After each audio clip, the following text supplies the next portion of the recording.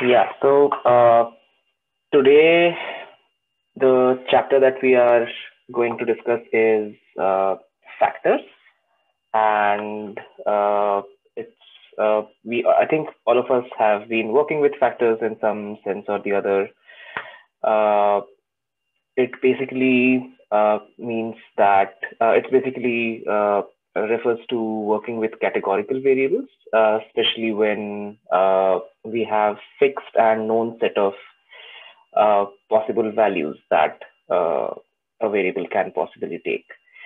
And R really handles uh, categorical variables uh, pretty well. so it a lot of R functions basically convert characters to factors automatically. so that's a really useful uh, function. However, a slight disadvantage is that it can, uh, uh, you know, factors can uh, crop up at places where they are not useful, and uh, tidyverse has uh, ways of dealing with that. so that's that's what we are going to majorly discuss today. this chapter is divided into three main operations that one can do with factors. first, starting with how to create factors uh, followed by how to modify the orders uh, of the levels in a factor, and finally modifying the factor levels uh, themselves. Uh, for today, I could cover uh, the first two uh, operations, which is to create a factor and to modify the order of the levels in a factor.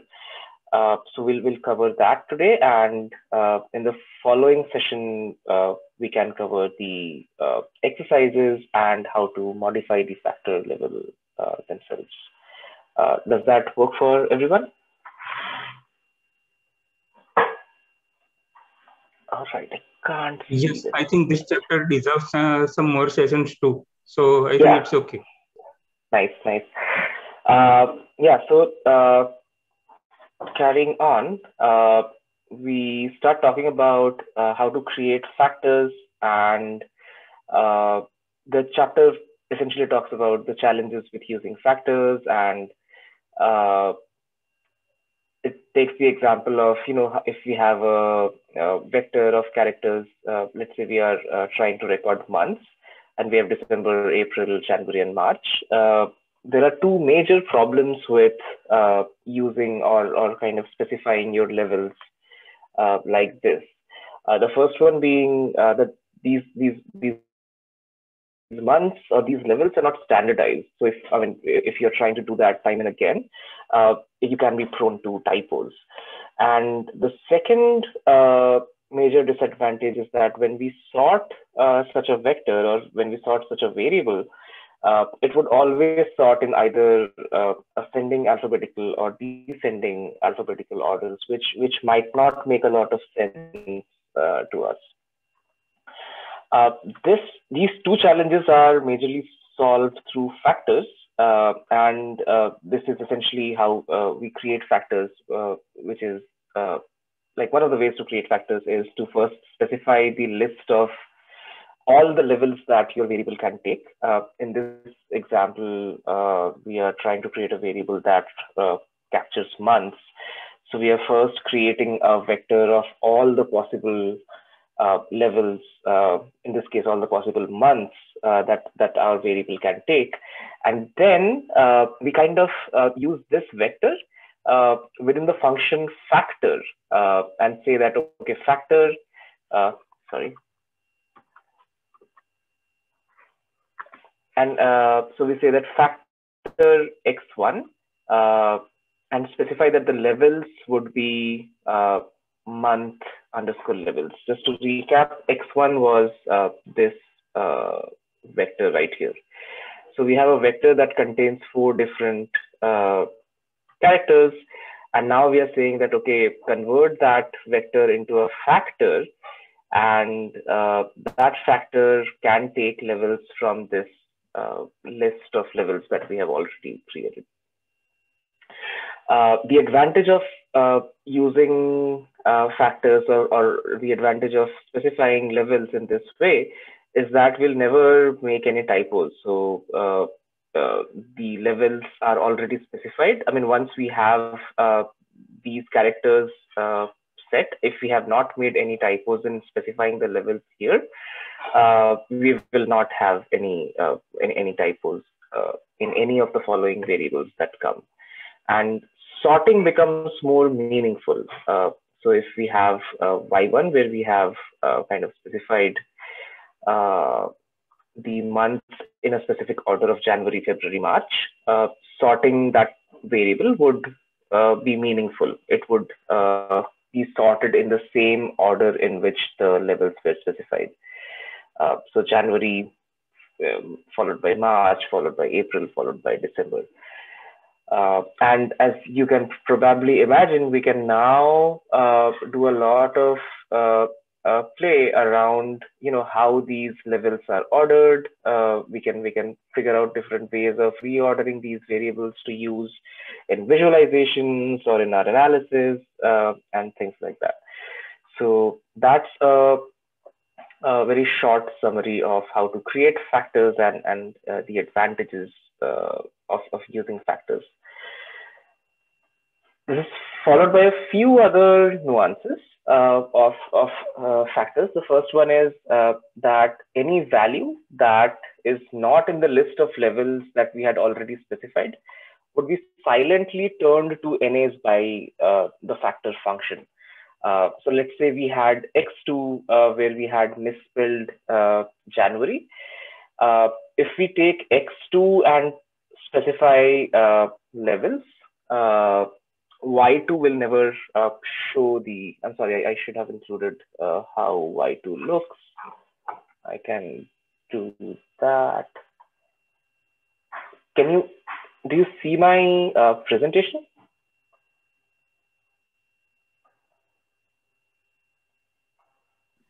Uh, I'm seeing your R console. Oh my, oh my God, I was, uh, okay. I was talking and looking at my presentation all the way. Uh, but let me quickly recap here. Yeah.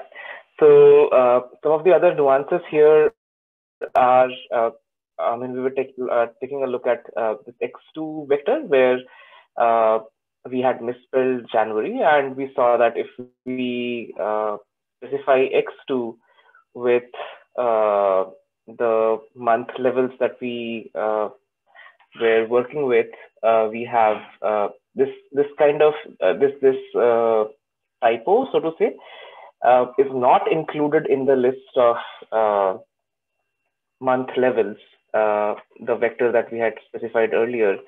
and since it is not included in the list of in, in the levels that we have specified, it would silently be turned into a, a, not applicable vector. And just to so that.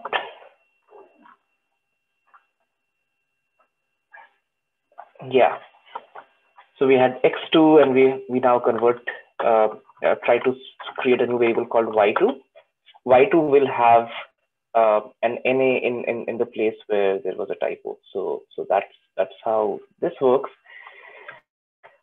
Uh, if we want to see uh, the warnings then we have to use this a function called parse under, underscore factor, uh, which uh, essentially uh, shows a warning that, uh, hey, this is uh, there's some element in the vector which does not have a corresponding uh, list in the levels. So, so that's, I mean, in case we are interested in the warnings, we can, we can use that. another cool feature is that if we omit the levels argument, uh, just to go back real quick uh, here, uh, we had X1, uh, which is December, April, January, and March. And uh, the, the, the way that we discussed, uh, we specify these factors is to say factor colon X1, and the next argument is where we specify the levels that we had just created. Uh, if we forget to add that level or if we omit omit that levels argument, uh, what R does is that it uh, uh, it takes the levels as they appear in the data in alphabetical order. Uh, so for example, my data, uh, the, the variable x1 has December, April, January, and March. It considers these four as the levels and it it kind of treats them in an alphabetical order. So April comes before December, comes before January, comes before March, and so on. Uh, so that is uh, that's what happens if if we omit the levels argument. Uh, another uh, point to note here is uh, is when we want to order uh, want the order of the levels to match the order of appearance of that category in the data.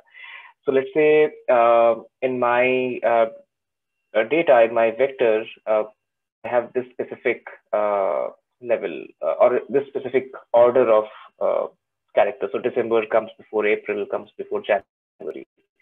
If I want to preserve this order, there are two ways to do that. the first option is to use unique. So say that factor x1 and levels is unique of uh, x1. So it uh, essentially, this unique x1 is essentially converting all the uh, all my factor into its unique levels and uh, it retains the order uh, in which the variables appear in the data. So here we see that uh, it's not alphabetical anymore. It's it's December, December, April, January, March. the second way to do like uh, retain uh, the order uh, of levels is to use uh, factor underscore in order function. Uh, this does the same thing. Uh, all we do is x1 pipe factor pipe factor in order and the levels that gets considered by R is the same levels that are uh, there in the data and in the same order in which they appear in the data. So it, it retains the level in that way. And finally, uh, in this section, uh, if we explicitly want to access the set of valid levels in a in a particular variable, if we if we if we are given a variable and we want to see what levels uh, it consists of, we can simply use the levels function. So levels f2 would give us all the all, all, all the same levels that we just saw a moment before. So uh, that is uh, all about creating new factors and uh, some specific nuances uh, related to that. Uh, next, we move on to the idea of how to modify the order of uh, of, of the levels as they appear in, in our factor. And this is especially helpful when we are uh, changing the order of, uh, when we are kind of using uh, factor variables in our visualization. For example, we uh, are using a factor variable in a bar plot and we want it to, want the different factors to appear in a specific order. So that the functions that we learn in this particular section are uh, especially useful in that context. Before we proceed, we uh, will be working with the general social survey dataset, uh, which comes with the forcats package within Tidyverse, and it has uh, it has a number of different variables. Quite a few of them are categorical. We have year, marital status, age, race, income, uh, party ID, uh, religion, uh, denominator, number of hours that they watch TV and so on and so forth. So uh, it has uh, these nine uh, variables, and we'll be working with this dataset quite a bit uh, as we proceed to the next sections. Uh, so a, a, quick example where we may need to reorder uh, levels. So we we consider the GSS dataset, and we are we are summarizing that data uh, by uh, we are grouping it by religion so different uh, types of religion and we are summarizing the data by computing the mean age and the mean tv hours uh, that people of, of a particular religion uh, watch in a day. Uh, so we have uh, all these different religions so we have 15 different religions that are covered in the data set and we have mean age mean number of tv and uh, the number of cases that we have uh, in each group.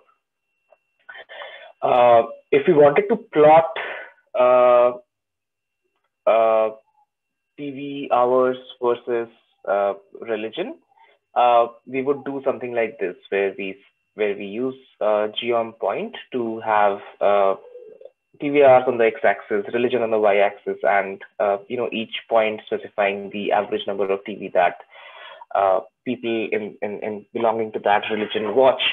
And uh, this is quite, as we can see, this is quite haphazard. It's, it's really difficult to draw inferences uh, from this kind of a graph. And it would be really useful if we could kind of have some order uh, to it to, to make quick inferences. And this is where uh, factor reordering comes into play. Uh, uh, and and uh, there are there are many different ways in which we can reorder the levels uh, of a factor, and and this book talks about four uh, different ways, uh, different functions. The first function is factor reorder. Uh, the second function is factor relevel. the third function is factor reorder two, and the fourth function is factor in frequency. And we'll talk about each one of these in in the coming slides. So back to our example, uh, uh, what if we try to reorder the levels uh, or, or, reorder the religion in an ascending order uh, of the amount of TV that people in each religion watches? So we can use uh, the factor underscore reorder function to do this. Uh, this function takes three arguments. it's pretty simple. the first argument is uh, the factor whose levels we want to modify. So in this this case, we want to modify the uh, uh, factors, the, the, the variable religion. Uh, that's that's uh, and we want to reorder the levels within religion for our for our graph. And then it takes another value x, which is a numeric vector that you want to use to reorder the reorder the levels. Now, how do we reorder uh, uh, the levels of religion? There are multiple ways to do that. Uh, in this particular instance, we want to order them by the by the amount of TV that they watch. So we want to relevel the uh, variable religion by the average amount of TV that uh, people in those in, in that religion uh, watches. So that becomes our x variable. So x is the numeric vector in our case, it's amount of TV uh, watched on an average, uh, and that is used to reorder. that is used to tell R that hey, arrange the level of religion by in in this order. and then we have an optional function that can be used in case there are multiple values of x for each value of factor. So if we if we have multiple uh, variables, uh, that we want to use to reorder a factor variable, uh, we will use uh, this optional argument here. But uh, to to start us off with a very simple example, we have uh, we have the same graph. We have uh, the religion underscore summary dataset that we had just mutated, and we kind of specify TV hours as our x-axis, and for y, uh, all we are doing is we are calling the factor underscore reorder function. So fct underscore reorder, and we are telling the function that uh, religion is the factor that we want to reorder, and we want to reorder it by TV hours. Uh, and that's exactly what it does. It uh, arranges uh, all the, it rearranges all the levels in the religion variable uh, in a in a in a, in a ascending order of uh, the amount of TV that is watched. So that's that's pretty cool. And uh, the next function that the book talks about is factor underscore relevel. And they take an example of, and factor underscore relevel is uh, a, a, bit different from factor underscore reorder. So in reorder, we kind of change the order altogether. It was a new order that was created. Uh, relevel is uh, a function where uh, if we have uh, a few specific levels within a factor that we want to bring to the top of the line or, or, or push to the bottom of the line. Uh, that is where a factor relevel comes into picture. And this is an example where uh, uh, which which kind of really illustrates the point quite well. So we create a new uh, new uh, data set called our uh, income summary, where we are grouping by uh, income ranges, different uh, ranges of income, and we are again summarizing age and TV hours and N. So we have these income ranges of you know don't know, refused, 25,000 or more, 20,000 to 25,000, and so on and so forth. And uh, we also have uh, we also have uh, the average age, average TV hours, and the number of uh, cases in each of these uh, income ranges, so to say. Uh, when we do a simple factor uh, reorder and do it by, sorry, and, and kind of arrange it by age, uh, this is what we get. So we have uh, not applicable as having uh, the highest age range, followed by uh, you know, I mean, I mean uh, the the uh, the levels in the income range variable are have been reordered here in a descending order of of average age so that that that is good but uh, oftentimes it doesn't make sense to reorder levels in ascending order of a particular variable. Here uh, this graph makes less sense uh, because uh, uh, this does not have any order of its own. Uh, the the the income range variable was was an ordinal variable. It had it had an order of its own and by rearranging or reordering it by age, we have kind of messed with that order, which which kind of uh, uh, reduces uh, the the uh, ability to inference uh, easily. But uh, we can we can but but however we can argue that you know let's say we want not applicable not to be on the top of the list. We we want to push not applicable to the bottom of the list and uh, kind of retain this the rest of the order. So we want no order, no uh, no answer, or don't know and refused. Uh, we want this order to be the same and not applicable to be at the bottom. And this is exactly where uh, this is exactly where uh, uh, factor relevel comes into play. and what we do here is simply say we want to so if in our case, so the factor that we want to change the level of is the first argument. So we say we want to change or reorder the R income variable, and we want to put not applicable on the top of the order. So uh, here it starts with 1,000, uh, 1,000 to 3,000, 3,000 to 3,999. Uh, and we see that not applicable is something that has been pushed to the to the top of the order. Um, and uh, this could have worked if we had provided like a vector of uh, different uh, variables, uh, uh, a vector of different uh, levels. All of those levels would have been pushed to the beginning of the stack, and the rest of the order would have remained the same. so that's another neat function that we can use to reorder the levels. there are two more the next one is factor underscore reorder two. And the example that the book uses is uh, to use use this to uh, you know color lines in a plot.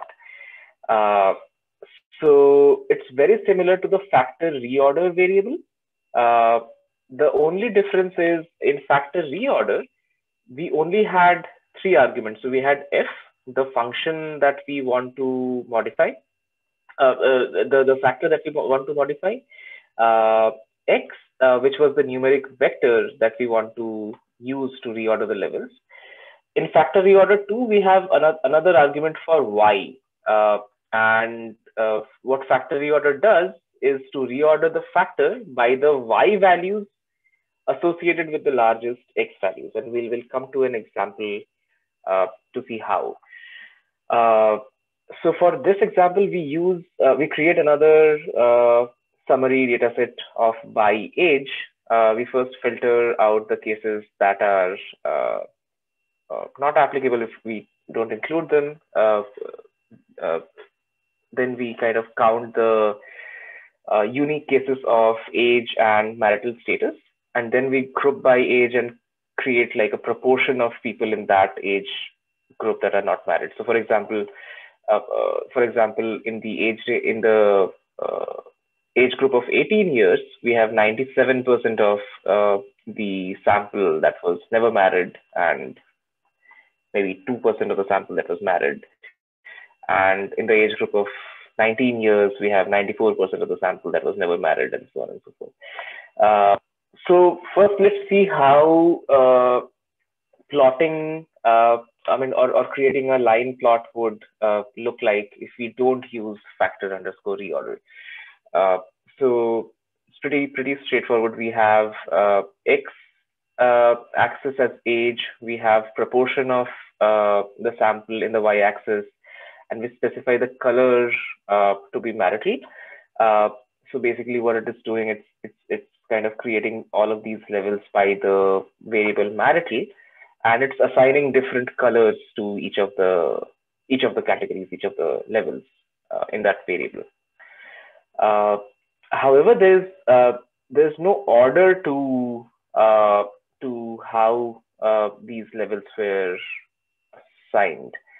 Uh, if we want to like have have better uh, inference or, or draw better inferences, what we can do is we can specify the color by using the factor underscore reorder to function where we say that we want to reorder the uh, we want to reorder the uh, variable marital uh, and we want to so the so the x in this case is uh, age and the y in this case is proportion.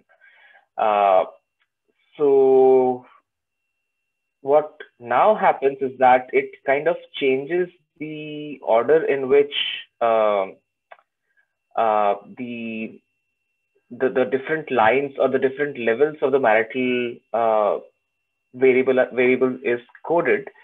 I do not fully understand how uh, how I mean uh, how it shows widowed over married over divorced. I why, why did it pick widowed first and then married and then divorced? Uh, I would appreciate any any insights into this uh, particular function. But yeah, this is this is what it does. Does anyone have any insights into what's going on here?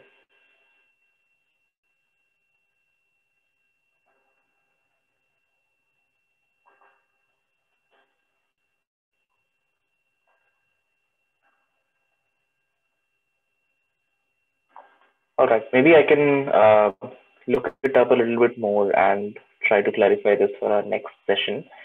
Uh, but that's that's one question that uh, I had on the factor reorder to uh, function. Uh, so moving on, the last function that we have is uh, the last function that we have that reorders the labels in a in a in a variable is factor underscore infreq or infrequency. And this is especially useful when we are working with bar plots. Uh, so let's say we have uh, the marital status and we are plotting the number of uh, people that we had uh, across different marital stat uh, statuses. Uh, what if we if we just use the marital variable as it is, it would plot it in the order of uh, in, in the order of the levels that appear in the raw variable, uh, which might not be, uh, you know, really in any in any particular order. However, we can uh, use the factor underscore infrequent infrequency uh, uh, variable, and what it does is we can just call mutate, create a new variable, and uh, say that uh, the new variable is uh, taking taking from the marital uh, variable, but just applies the function of factor underscore in frequency uh, variable uh, function. And it kind of uh, first orders it in a descending order. And if we add the factor underscore reverse function to it, it changes the order from, uh, you know, from ascending to descending. Uh, or, or from, from in, in an increasing order rather than a decreasing order. So uh, yeah, these are the two ways in which we can uh, quickly and easily order different levels uh, of, a, of a variable in a bar plot. And uh, we also saw some of the other ways in which we can work with line plots, for example, using the factor underscore reorder to, uh, or we can uh, re-level a couple of levels in a factor to move them uh, to the top of the list. And we can also use factor reorder to uh, kind of change the order of a particular variable by uh, another numerical variable, by the values of another numeric variable. So uh, that is all about uh, how to change the order of uh, variables. Um, next week, we will talk about uh, how to modify the levels themselves. Uh, that's the third part of the section. And finally, we'll, we'll go through the exercises that are there in the chapter. Does that, does that work for everyone? That sounds great. Okay. Any comments, any thoughts?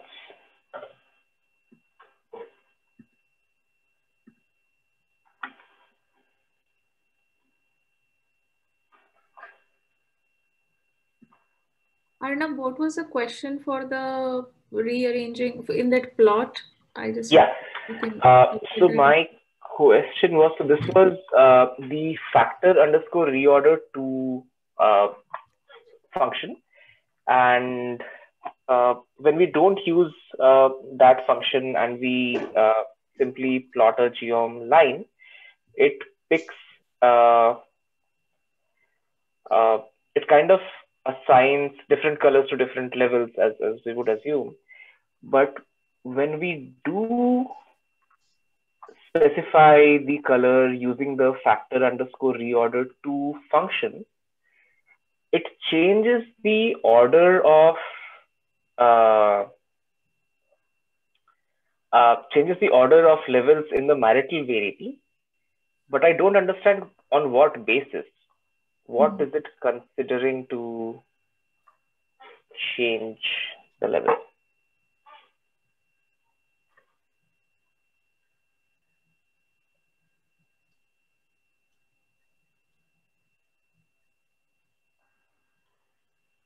They seem to be ordered in a way that the end of the lines are kind of falling in.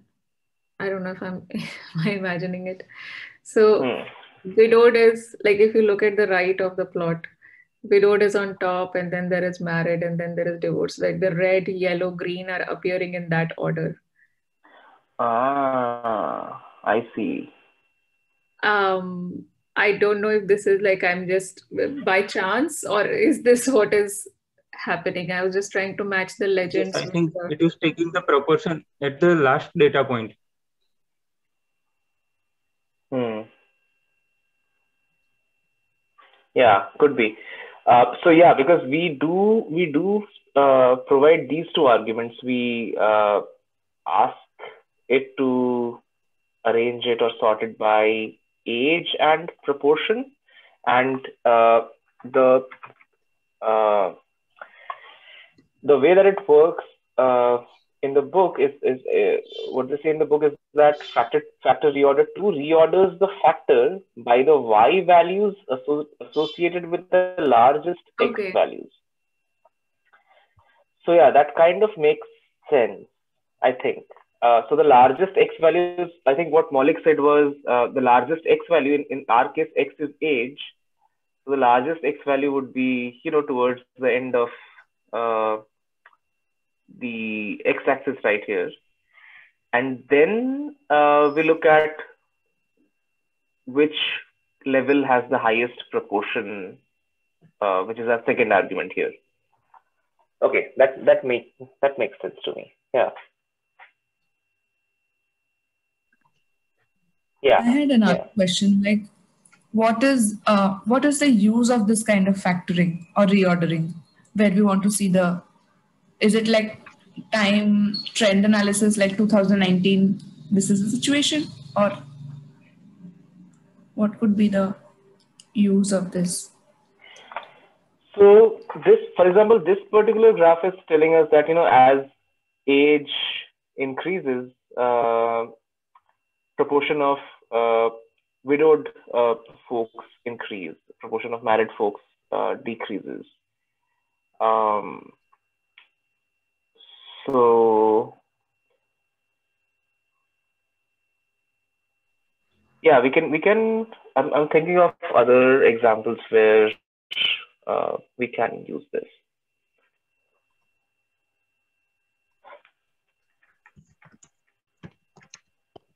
Uh, let's say we have I mean, a, a simple example would be of, of this kind of a graph would be uh, let's say number of COVID cases over time uh, and differently for different age groups or different levels for men and women. Um, yeah. yeah, Okay, okay, huh. something like that. Yeah. yeah, that makes sense. There is another use too.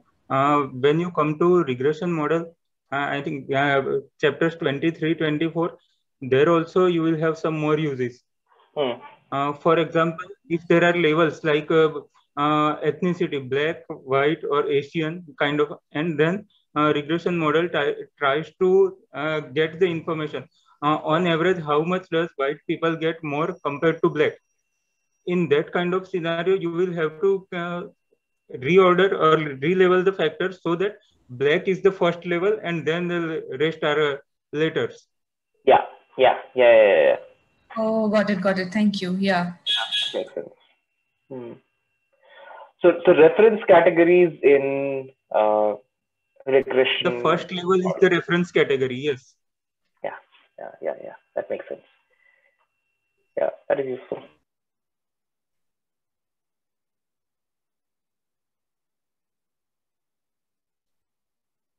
Fine. Thanks.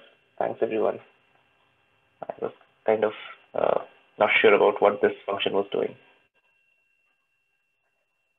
No, we can check it even for mtcars data set also. For example, when you run uh, LM uh, into bracket uh, MPG, uh, then uh, tilde dot data equal to mtcars.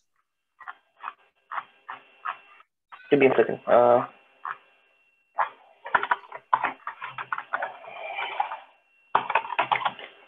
Yeah. Uh, what was that? LM MPG MPG uh, tilde dot uh, comma uh, data equal to mtcars.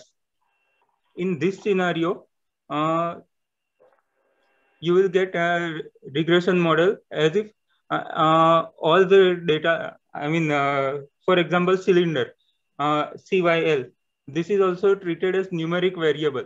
But if you change the DF uh,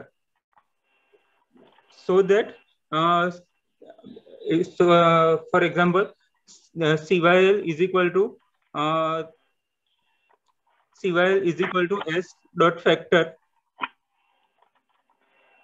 Give me a second. Uh,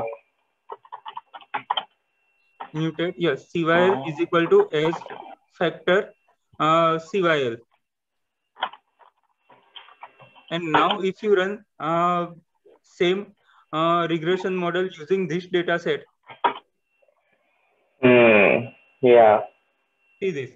The C, uh, level 4 of cylinder is the base level. And now this uh, uh, beta factors, uh, the multipliers of 1.6 uh, that is with reference to cylinder level 4. Right. And uh, MPG will reduce by 1.66 uh, 66, uh, percent compared to cylinder level of 4. True. And I think what you were referring to earlier was that uh, uh, uh, we can we can use relevel to kind of have Yes. CYL 8 as a reference category instead of CYL Yes, 4. right. Okay, so let's try that. So relevel, uh, sorry, FCT underscore re level, and we have psycho, and we want to specify CYL 8 to be Yes. let's see. Huh, that did, did not work. Let's say we do four. We have not yet uh, created a factor variable first. Uh, it is a factor.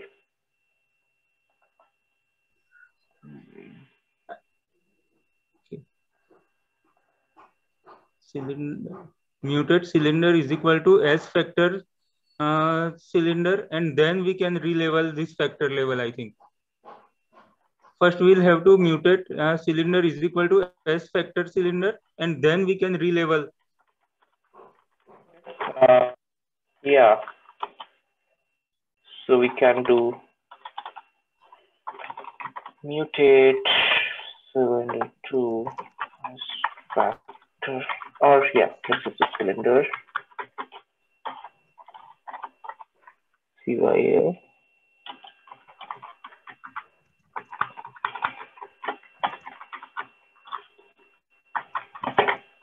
And then this should work, right?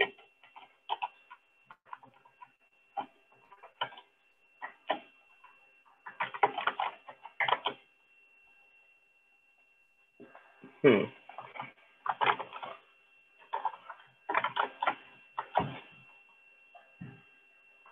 Somehow does not seem to be working.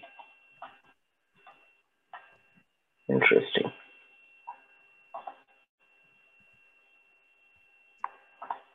Okay, let's try this.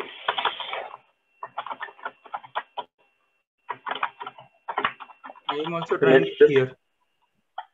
Okay, let's just try to look at. Oh, I see. Okay, the levels are just four, six, and eight. Okay, that makes sense.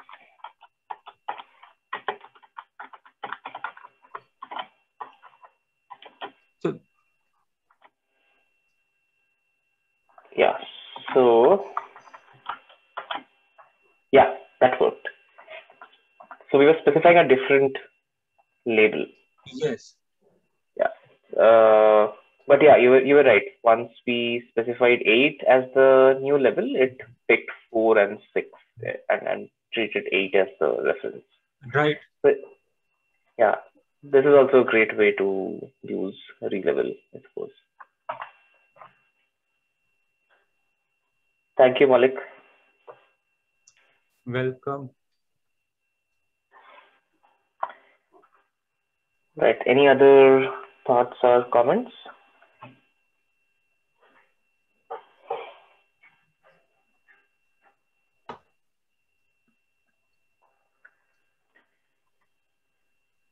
All right. Uh, From, from me, uh, thanks for the session, Arnab.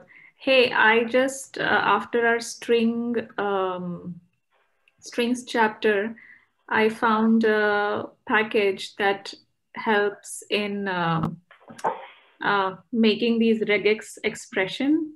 oh, really? Yeah, and it's uh, Oh, I'm not. I've not used it. I'm just uh, where is it? Just give me one minute. Let me find it. Where did I? Sure. I learn, I learn everything on Twitter, so it's. Yeah, Twitter is actually very useful. Let me send that on chat. Yeah. So I just wanted to share this after our. Yes, thank you. Um, it's called RVerbalExpressions. So there is an example of how there are like more intuitive um, um, function named function intuitively named functions. Uh, yeah, in this. Yeah, I was also thinking, how come there's no package now for this? so many things about regex. um, yeah. So so Arnab, if you it, because you're doing string analysis, if you are Yeah. end up using it, please share with us if it was useful or what. Yeah, yeah, yeah. This would be very helpful. Yeah, this, this is really great. Thank you for sharing. Sure. Someone has commented, great, now I don't have to learn regex. Yeah, exactly. This this could be very powerful. I also liked uh, this, that discussion thread uh, uh, on that on on on, on uh, the question that uh, was posted on the Slack channel. Okay. Yeah. Yeah. So that was really helpful too because uh, one of the functions that were recommended was uh, R under brackets. Let me share my screen again. Uh,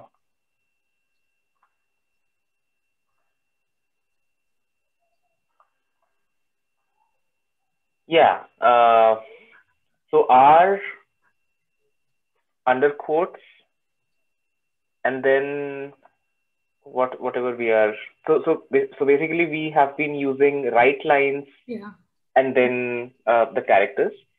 But instead of doing that we can use writeLines r and then under quotes that thing. So so that helps a lot. I am yet to use it fully but it seems very useful so worth checking out interesting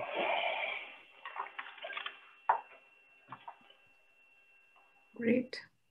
Hey, did you get your vaccine? Sorry if you mentioned Yeah. that at the beginning. Yeah, yeah, yeah, yeah. I, Okay. I did. the second, the second dose was yeah. We uh, both me and my partner were a little uh, under the weather. Uh, my partner got sick. She uh, she got fever. Uh, I am still doing better, but yeah, the second dose was not as easy as the first one. Well, thank you for doing the session anyway. I hope you can rest it out. Yeah, yeah. I, so I, I yeah, I, I did not work at all. So I, I took sort of a sick day, and I worked on this, which was better than working on your regular stuff. Nice. Uh, all right. So I'll see all of you next week then. Sounds good. Thanks. Yeah. Thank you so much Bye, again, everyone. everyone. Yeah, of course. Thank you. Bye bye. Bye. Bye. Bye.